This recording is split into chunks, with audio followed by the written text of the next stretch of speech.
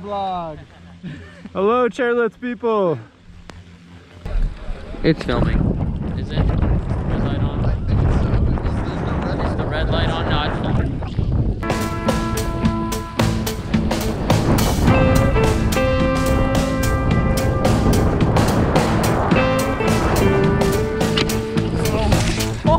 That was pretty hilarious. I almost killed myself. So, uh, yeah, don't go there.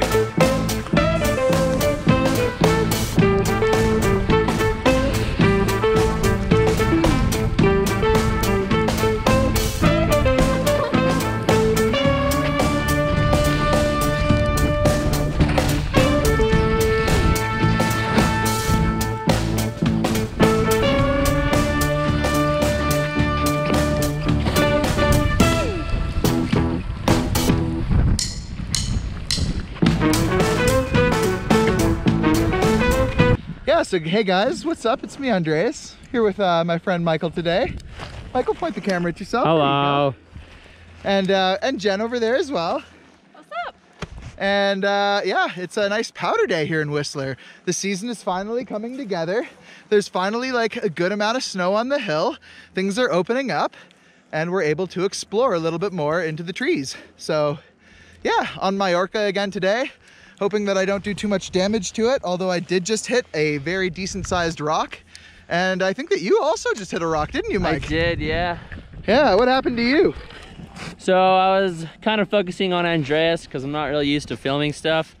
And then lo and behold, right in front of me was a massive boulder. So don't recommend doing that. No, not at all.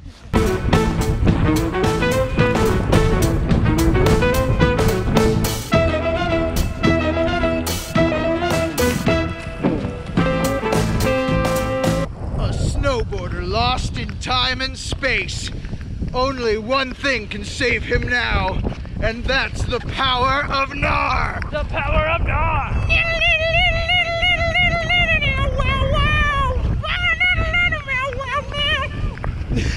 Hello, random skier, Nar Nar!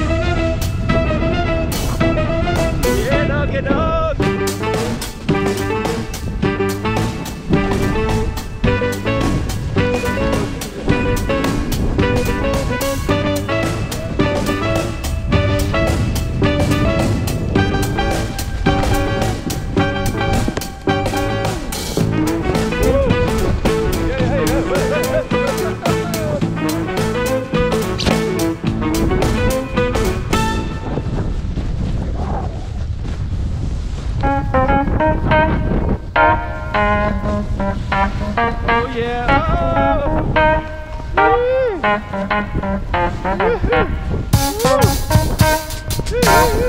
Okay,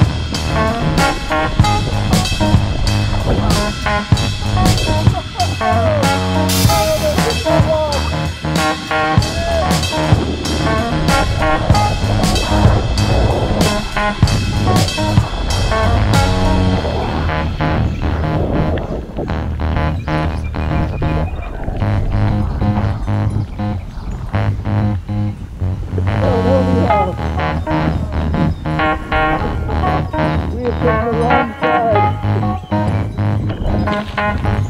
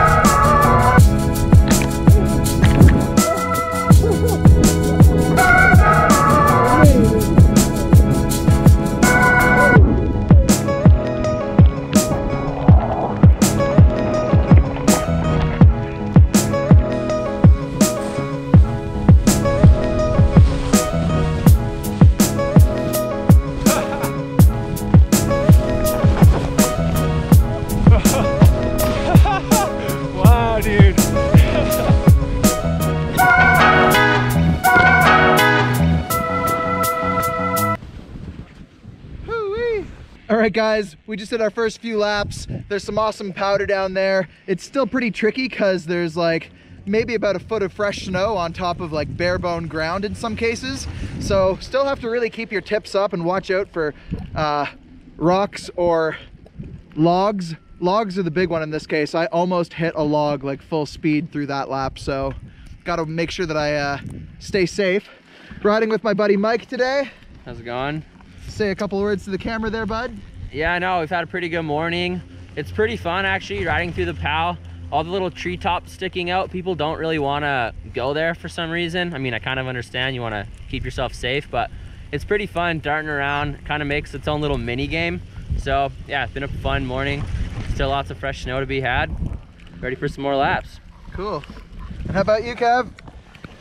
Yeah, this is definitely, I think, the best snow like in the resort yet. We're over here on Blackcomb and the snow on the runs is just building up throughout the day. I think we got, feels like 15 centimeters overnight and it's just continuing, continuing to snow. So covering up a lot of debris, covering up a lot of rocks and logs, which is opening up all these different zones. So it's really fun.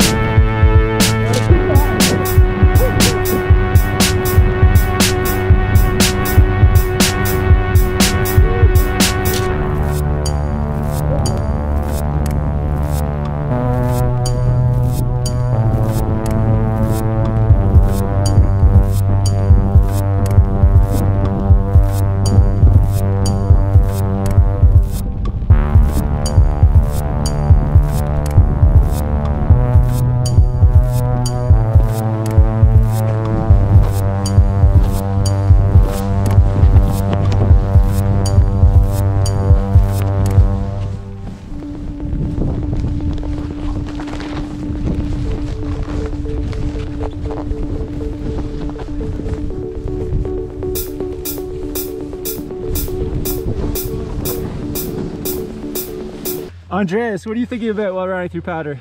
Guys, I'm trying not to set in my edges too hard. I want to keep that board nice and level so that I can pivot around really quick and easy. The last thing I want to do is lean in really hard and catch an edge on a root or a rock. So I'm trying to keep my board nice and level, surfy, and that way I can uh, ease my way out of a tight situation.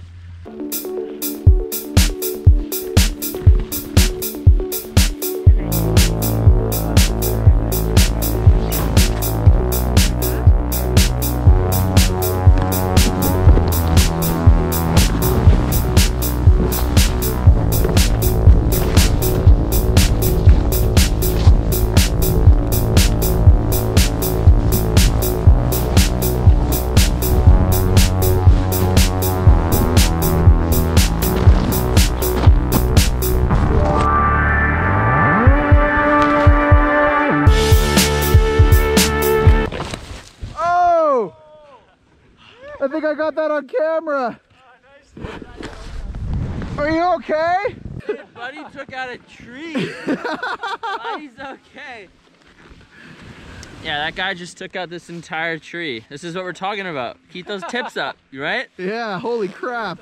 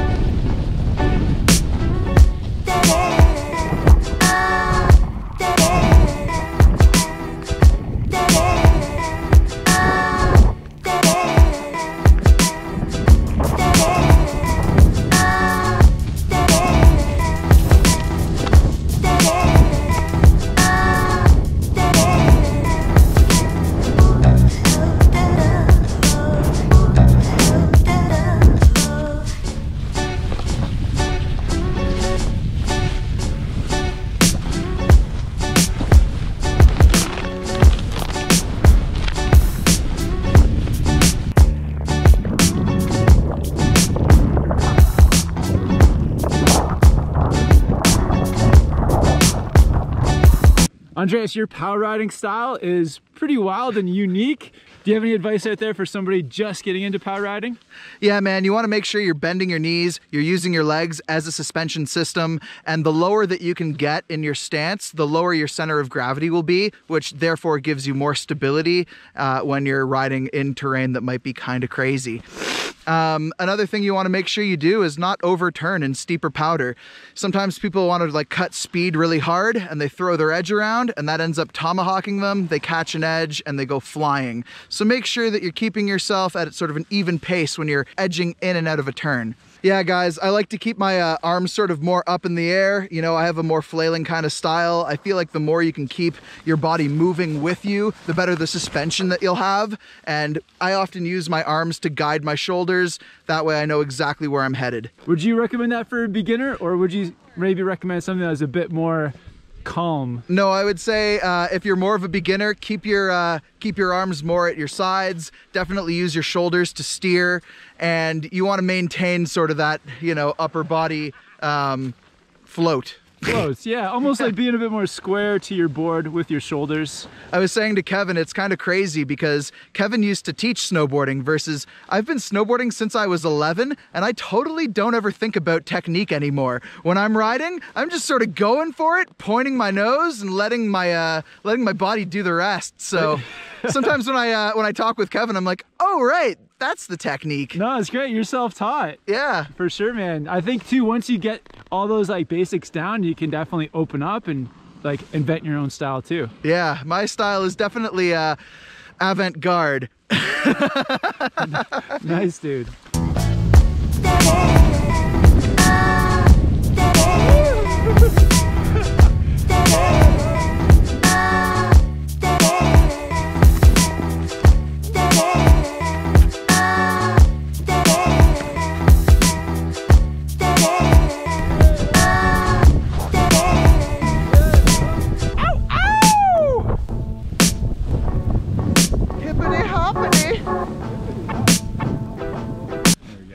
That's the shot.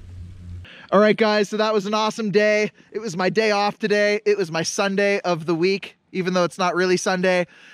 But great day on the hill. Got to experience some fresh powder with my friends, Mike. How's it going? And Kevin. Say hi, Kevin. yeah, Dude, it's good snowboarding with you today. Yeah, Andreas, it was good riding with you today, man. I feel like this could be the start of storm week here in Whistler, so let's keep it coming. Yeah, man, super excited about the snow we're supposed to be getting. There's rumors of up to 50 centimeters, so let's keep our fingers crossed. Anyway, we're just headed down back to the parking lot and out to get some food in the village. Sweet as. See you at ramen.